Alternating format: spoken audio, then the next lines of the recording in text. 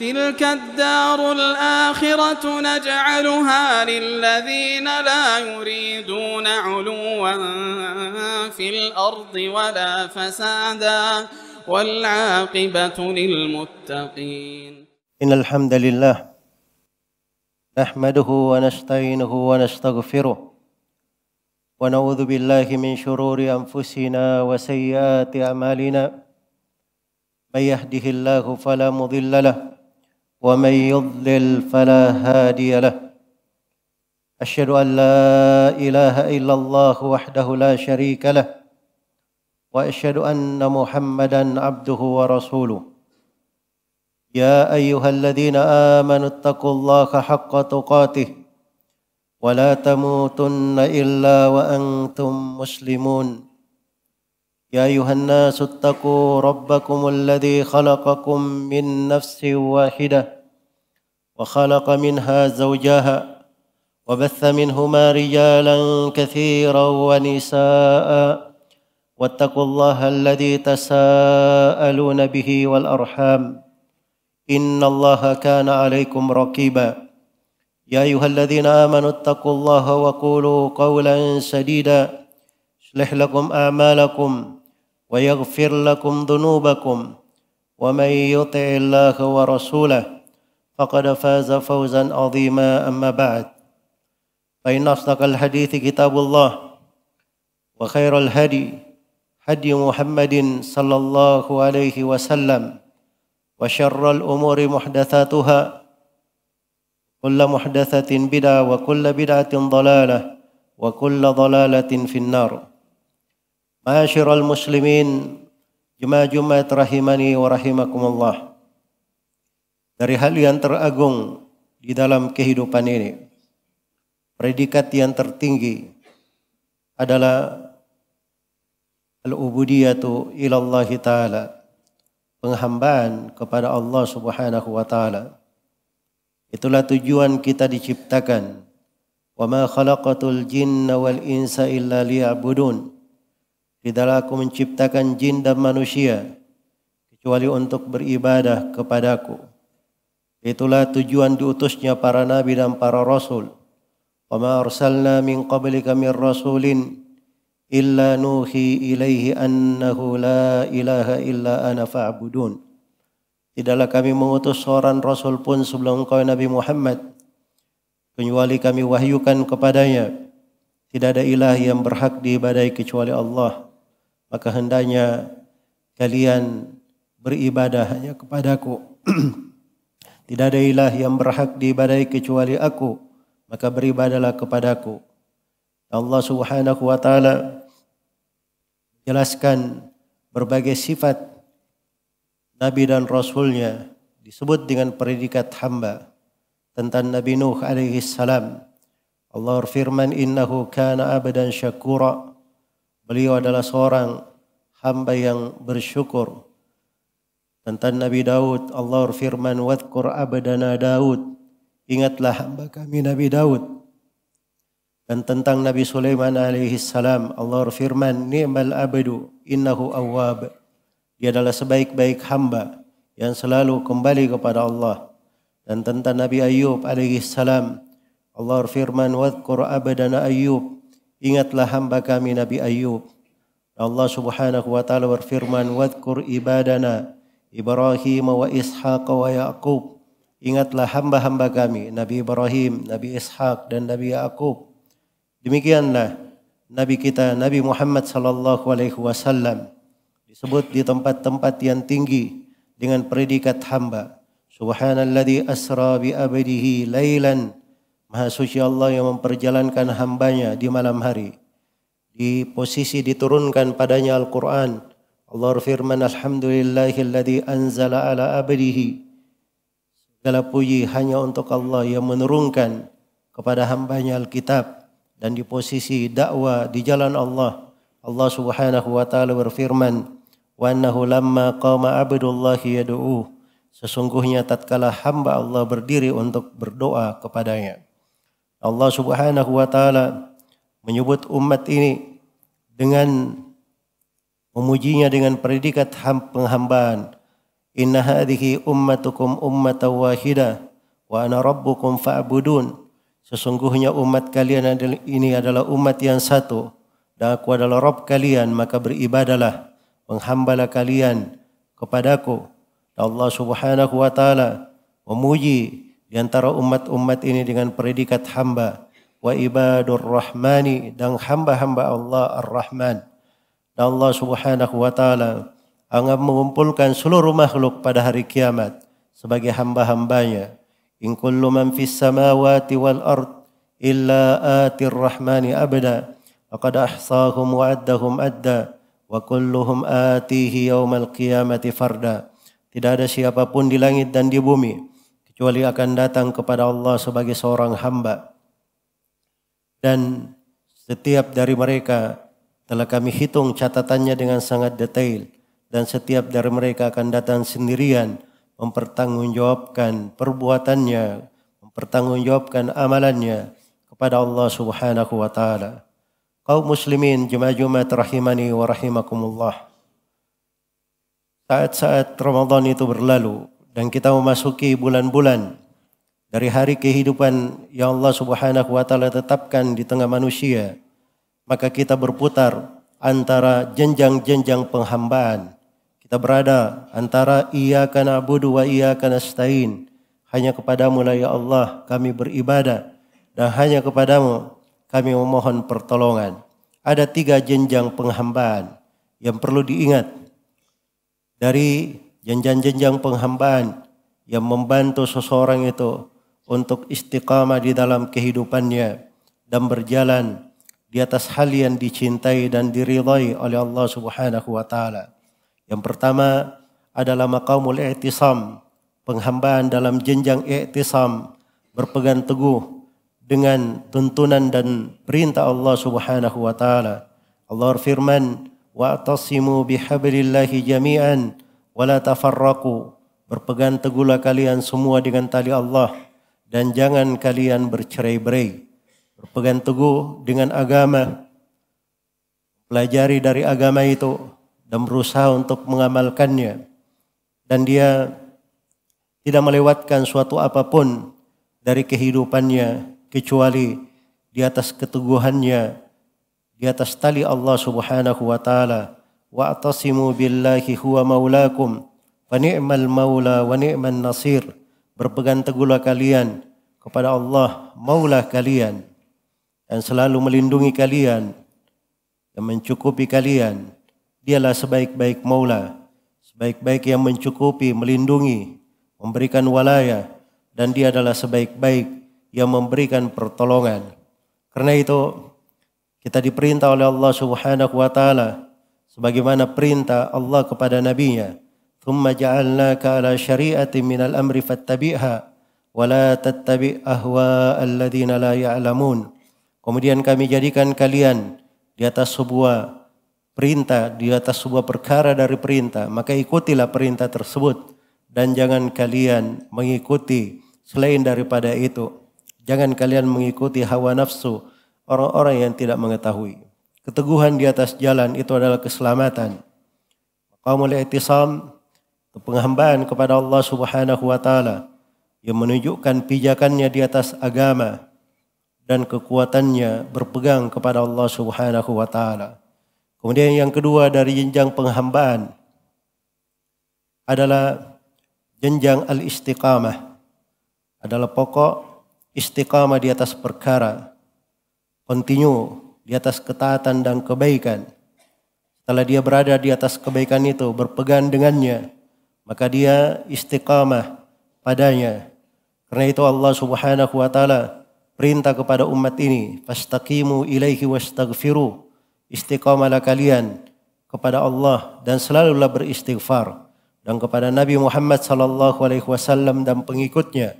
Allah berfirman, Fastaqim kama umirta wa man taba ma'aka wa la tatagaw.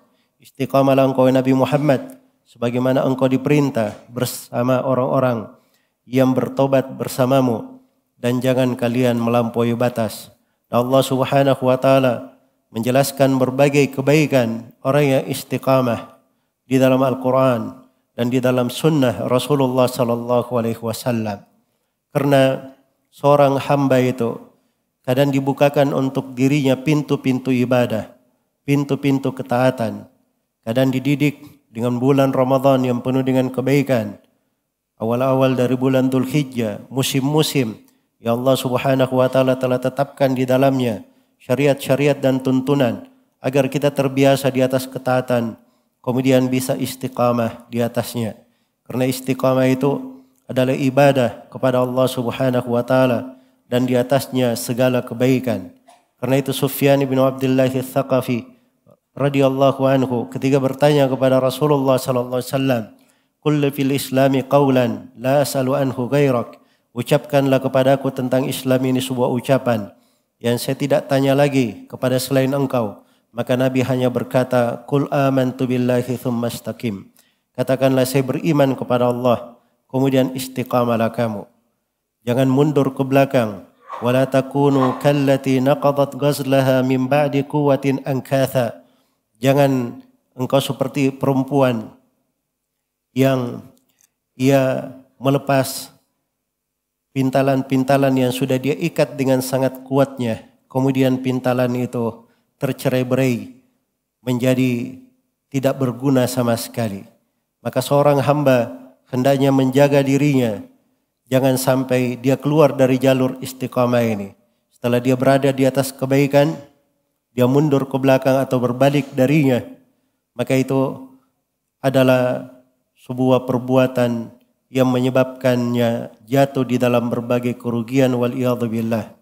Istiqamah itu adalah jalan kehidupan karena itu di sakaratul maut dikatakan bagi orang yang istiqamah innal ladzina qalu rabbuna Allahu thumma istaqamu alaihim wala hum tatanazzalu alaihimul malaika alla takhafu wala tahzanu wa abshiru bil jannati allati kuntum tu'adun Sungguhnya orang-orang yang berkata Rabb kami adalah Allah kemudian mereka istiqamah. Maka akan turun kepada mereka malaikat-malaikat pada saat sakaratul maut. Diberi kabar gembira Jangan kalian khawatir dan jangan kalian bersedih, bergembiralah kalian dengan janji yang dijanjikan untuk kalian dan di sorga kelak Allah Subhanahu wa taala berfirman, "Innal ladzina qalu rabbuna Allah tsumma istaqamu fala khaufun 'alaihim wala hum yahzanun." Ulaika ashabul jannati khalidina fiha jazaan bima kanu ya'malun. Sungguhnya orang-orang yang berkata Rabb kami adalah Allah, kemudian mereka istiqamah tidak ada kekhawatiran dan kesedihan atas mereka. Mereka inilah penduduk sorga, kekal di dalamnya, balasan sebagai apa yang mereka lakukan. Kemudian yang ketiga dari jenjang penghambaan, ada namanya maqamur riayah, jenjang penjagaan, jenjang pemeliharaan, di mana seorang hamba ketika diberi oleh Allah Subhanahu wa taala pintu-pintu ketaatan dan nilai-nilai ibadah, maka dia pelihara hal tersebut di atas hakikatnya. Dia berusaha melakukannya pada segala ibadah itu secara maksimal. Kemudian dia pelihara hal itu di dalam kehidupannya. Itulah yang disebut dengan riayah. Yang Allah subhanahu wa ta'ala telah menegur ahlul kitab karena dia jauh di dalam hal itu. Fama ra'auha haqqa riayatiha. Mereka tidak menjaganya dengan sebenar-benar riayah. Karena itu di umat ini Allah subhanahu wa ta'ala perintahkan untuk menjaga seluruh dari penghambaan itu dengan sebaik mungkin, memeliharanya, jangan sampai terjadi kekurangan di dalamnya atau menjauh darinya. Maka itu yang disebut dengan nama maqamur riayah. Hal yang sangat penting, seorang itu menjaga amalannya, menjaga keadaan-keadaannya, dan menjaga waktu-waktunya agar supaya dia selalu berada di atas hal yang dicintai dan diridhai oleh Allah Subhanahu wa taala. أقول ما تسمعون بارك الله لي ولكم في القرآن العظيم ونفعني وإياكم بما فيه من الآيات والذكر الحكيم وتقبل الله مني ومنكم تلاوته إنه هو السميع العليم.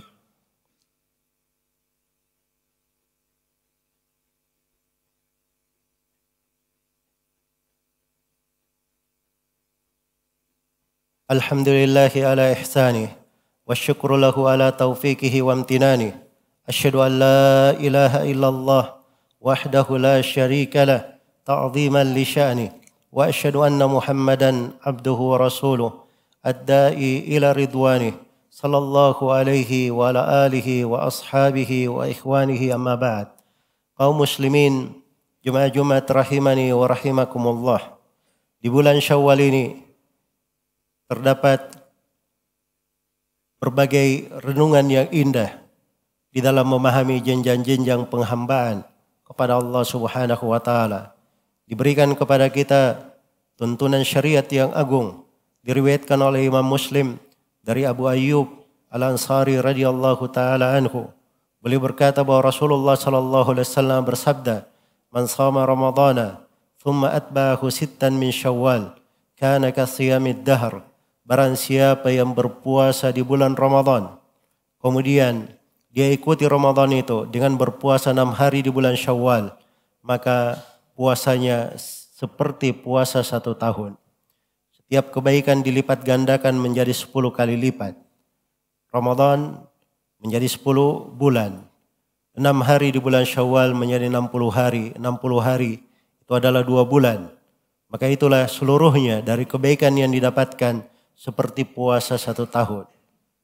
Tapi perhatikan dari jenjang istiqamah man sama Ramadana.